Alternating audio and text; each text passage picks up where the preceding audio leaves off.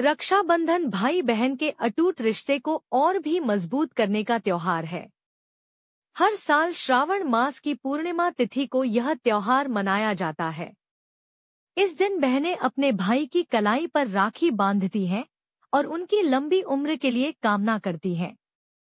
वहीं भाई भी बहनों की रक्षा का वचन देते हैं।